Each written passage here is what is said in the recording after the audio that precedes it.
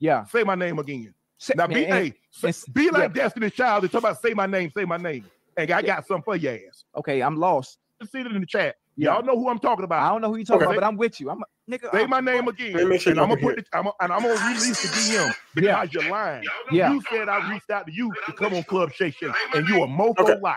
Now when I see you, Yeah. I'm gonna see you. I'm gonna see if you about that.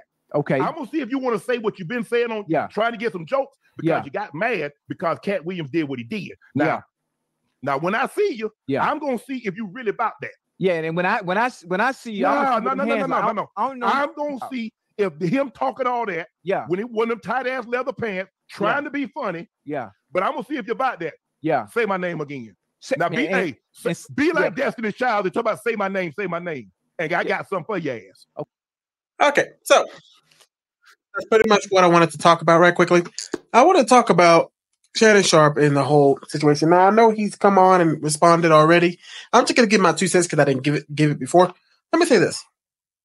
I like Shannon Sharpe. Good guy, from what I could tell.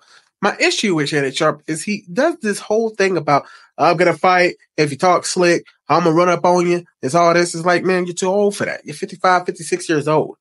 It's getting to the point where it's getting a little I've always thought this about Shannon.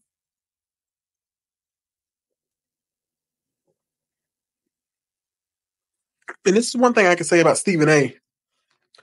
Stephen A. He never threatens to fight. He always threatens, if you need me, call me. I'll show up. We can have a discussion. Shannon does this whole thing where it's like, I gotta fight.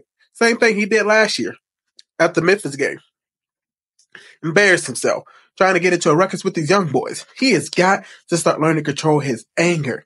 It is too much of this stuff going on with, oh, I gotta be the big bad guy. I got, I gotta show everybody who I am. I gotta do all of this. I gotta do all that. And it's like, brother, just chill, relax, breathe.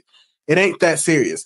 We have start, we, I'm not gonna say this is because a black man, a white man, I don't care who it is. Anybody I see doing this is just embarrassing. You're a grown man. Anytime I see any grown men doing this whole, I'm gonna fight you and all this kind of stuff, it's just a little bit ridiculous.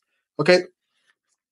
Now, Shannon has been on with Mo'Nique. He's been on with Katt. He's had a host of people from Steve to Cedric to, I think he did have on, was it Mike Epps? No, I think it was somebody else.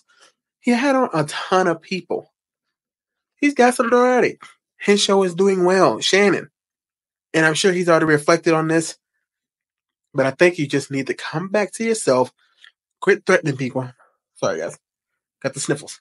Quit threatening people. Quit telling people you want to fight them. It's just stupid. Uh, It's just all the way I can put it. I would never threaten to fight somebody.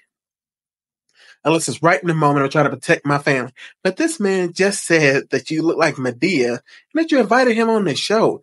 It is not that serious, big dog. It's just not that serious. You gotta bring yourself back, relax, and see if you can calm down a little bit. Okay. Breathe, bring it back in. And let's just keep it moving. Let's keep it moving. Keep it moving forward. Okay. Um that's not a, there's not a whole lot I want to say on that situation. I just really want to just get emphasize that point of Shannon. It's time we start moving forward. We stop making all these I gotta fight, I gotta prove myself. It's just getting to a point where it's getting a little bit too out of hand. Okay. That's all I have to say about that quick little situation.